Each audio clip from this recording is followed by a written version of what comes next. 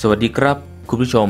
ขอต้อนรับเข้าสู่ช่อง HR Com ask คุณอยู่กับผมสราวุธชัยดีสำหรับใครที่ทำประกันสังคมแล้วมีแนวโน้มว่าจะได้รับเงินชราภาพในรูปแบบของบำเหน็จ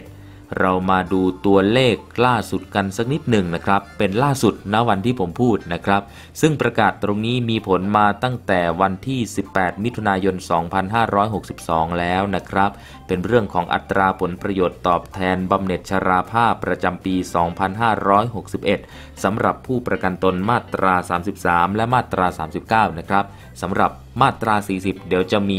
ให้ดูอีกฉบับหนึ่งนะครับ แต่คลิปนี้ดูของมาตรา 33 และมาตรา 39 ก่อนนะครับ ตัวเลขที่ประกาศออกมาอยู่ที่ร้อยละ 3.16 ต่อปีนะครับ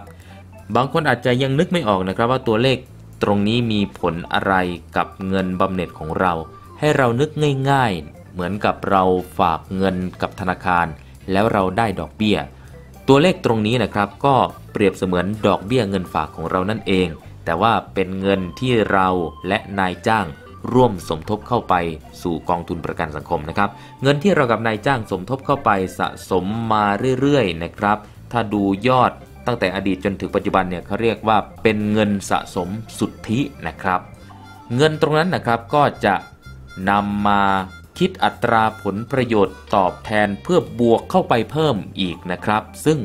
ล่าสุดก็อย่างที่เราเห็นตัวเลขนะครับ อยู่ที่ร้อยละ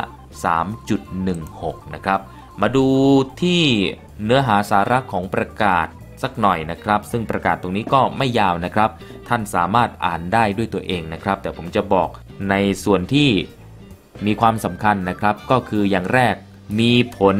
ถัดจากวันที่ประกาศในราชกิจจานุเบกษาเป็นต้นไป ก็คือมีการประกาศในวันที่ 17 มิถุนายน 2562 เพราะฉะนั้นนะครับประกาศตรงนี้ก็จะมีผลตั้งแต่วันที่ 18 มิถุนายน 2562 และจะมีผลต่อไปเรื่อยๆ จนกว่าจะมีประกาศฉบับใหม่ออกมา นี่คือข่าวที่นำมาฝากกัน ในคลิปนี้นะครับ อย่าลืมกดติดตามช่อง HR Com Art กันด้วย ถ้ามีคลิปใหม่ๆ จะได้มารับชมพร้อมๆกันสำหรับคลิปนี้ขอบคุณและสวัสดีครับ